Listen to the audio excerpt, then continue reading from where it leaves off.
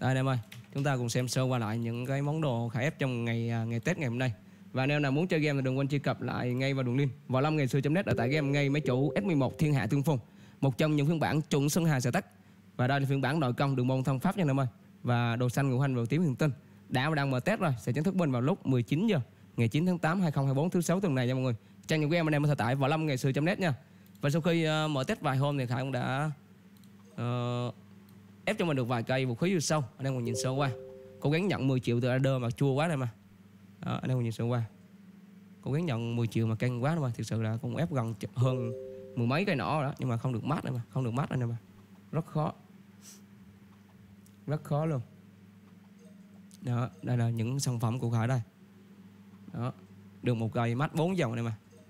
Rồi cây cây đao thì được mắt 5 dòng.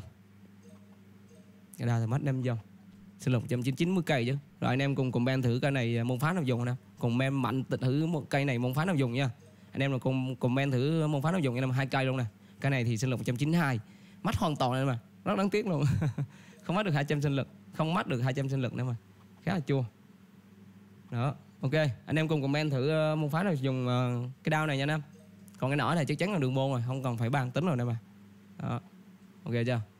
Cái nọ khỏi nói còn cái đau này thực sự là anh em cùng comment thử phát nó dùng nè mà đúng là hồ công ơi, khó quá, chua quá người nè mà rồi, anh em xem like à, xem video đừng quên đỡ lại cho kênh youtuber cũng như là kênh top top cũng như là phủ bò một like chia sẻ ủng hộ cho anh em ơi. Không như hơn, kính chúc anh em một buổi xem video vui vẻ nha.